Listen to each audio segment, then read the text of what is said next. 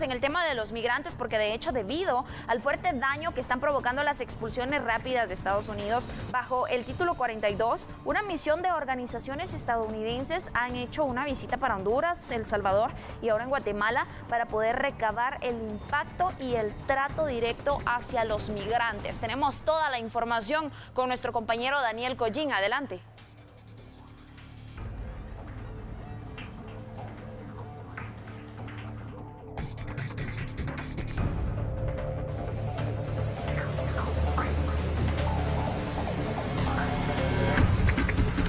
Nuevamente por el cambio, compañeros allá en estudios. Y es que las deportaciones rápidas que está pues aplicando Estados Unidos bajo el título 42, en donde se han expulsado ciudadanos guatemaltecos, hondureños, salvadoreños y de otras nacionalidades, pues ha generado eco en organizaciones que trabajan en favor de los migrantes en Estados Unidos. Prueba de ello es que se encuentra en Guatemala pues eh, miembros de Alianza Américas que han hecho un recorrido en los distintos países de la región para conocer la situación de estas expulsiones, cómo les están afectando y plasmar este resultado en Estados Unidos. Para ello me encuentro con Oscar Chacón, director ejecutivo de esta organización.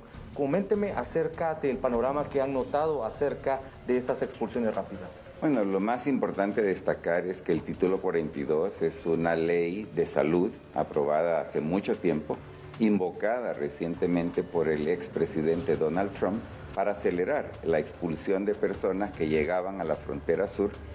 Curiosamente esta medida fue criticada por el ahora presidente Joe Biden, pero tristemente sigue vigente y se sigue expulsando a guatemaltecos, hondureños, salvadoreños, incluso mexicanos, a razón de invocar lo que es una ley que asegura que no se puede permitir el ingreso de estas personas por razones de salud, aun cuando la evidencia está ausente. O sea, no hay realmente razón de decir que las personas centroamericanas o mexicanas presentan una amenaza de salud para los Estados Unidos.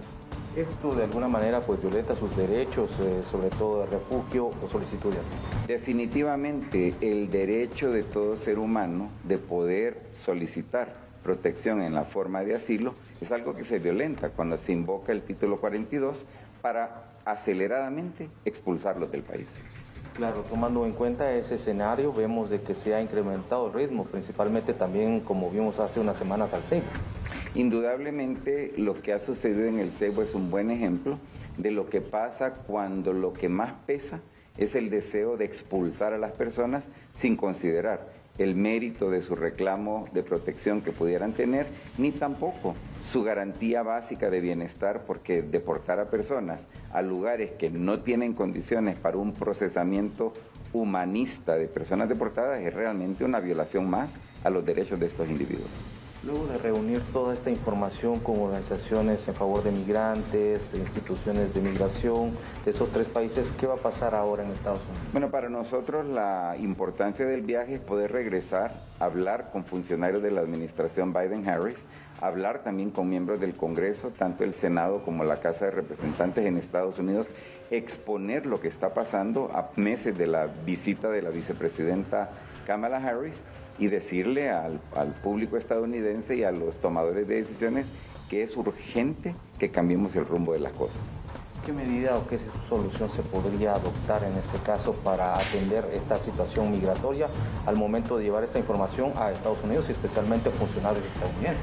Una medida crucial para nosotros es efectivamente revocar el uso del título 42 y revisar cualquier otra práctica de expulsión express porque creemos que esto viola el derecho que la persona tiene de poder solicitar asilo u otra forma de protección humanitaria en los Estados Unidos. Claro, se esperaría también pues, los resultados óptimos con estas conversaciones con funcionarios estadounidenses para que se frene esta, esta medida que también pues, incluye la expulsión de familias. Indudablemente, incluye la expulsión de familias, de menores de edad, de menores no acompañados y por supuesto de también hombres y mujeres que viajan en aras de encontrar seguridad y encontrar la posibilidad de una vida más digna para ellos y sus familias.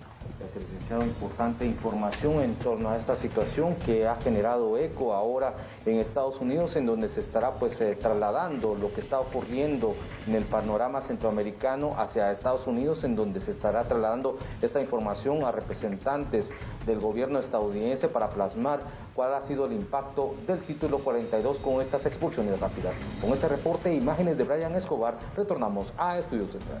Gracias por la información. Estaremos al pendiente de todo el monitoreo que realicen, porque recuerde que son tres países en los cuales ellos están verificando este impacto y el trato a los migrantes. Justamente es El Salvador, Honduras y Guatemala. Ahora pues ya se van a obtener más información al respecto mientras estas eh, personas pues realizan todo toda la información, todo, eh, toda la revisión específica que concierne directamente a este tema.